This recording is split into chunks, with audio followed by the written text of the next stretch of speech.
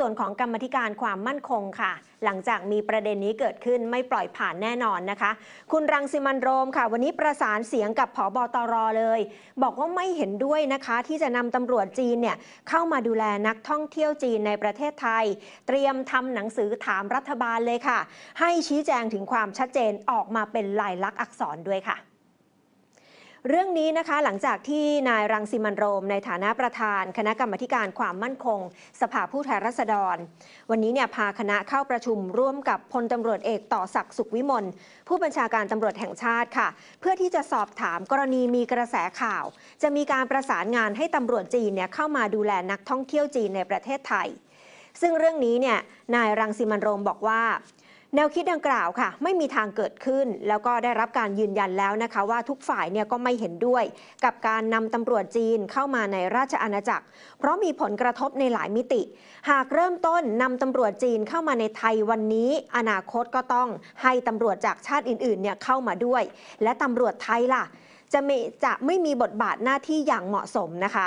ดังนั้นเนี่ยจึงเป็นสิ่งจำเป็นค่ะ ที่ต้องช่วยกันพัฒนาศักยภาพของตำรวจไทยด้วย ให้เข้มแข็งมากขึ้น เพื่อให้สามารถดูแลความปลอดภัยในชีวิตและทรัพย์สินของประชาชนรวมถึงนักท่องเที่ยวได้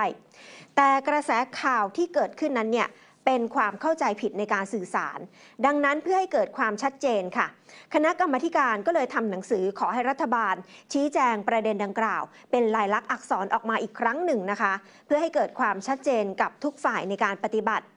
ก็สอดคล้องกับผู้บัญชาการตำรวจแห่งชาติค่ะ ซึ่งท่านก็ยืนยันว่าไม่เห็นด้วย กับการนำตำรวจจีนเข้ามาดูแลนักท่องเที่ยวจีนในประเทศไทย เพราะว่าเป็นการละเมิดอำนาจอธิปไตยของไทย และตำรวจไทยก็มีศักยภาพในการดูแลประชาชน และนักท่องเที่ยวเพียงพอ แต่กรณีที่เกิดขึ้นในอิตาลีนั้นนะคะ ที่เขายกตัวอย่างขึ้นมา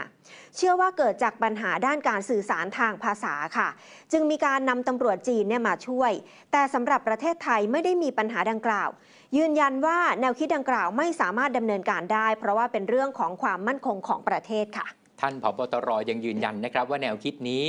สำนักงานตำรวจแห่งชาตินั้นไม่ได้เป็นผู้เสนออมหรือว่าร้องขอไปยังรัฐบาลนะฮะอันนี้ท่านก็โยนไปทททเต็มๆเลยค่ะ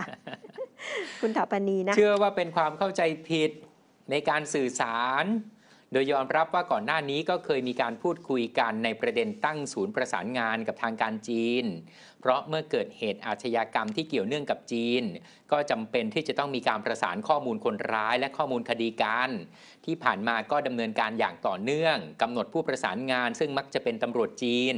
ที่ดูแลสถานทูตจีนประจำประเทศไทยก็เลยอาจจะทำให้เกิดความสับสนขึ้นครับ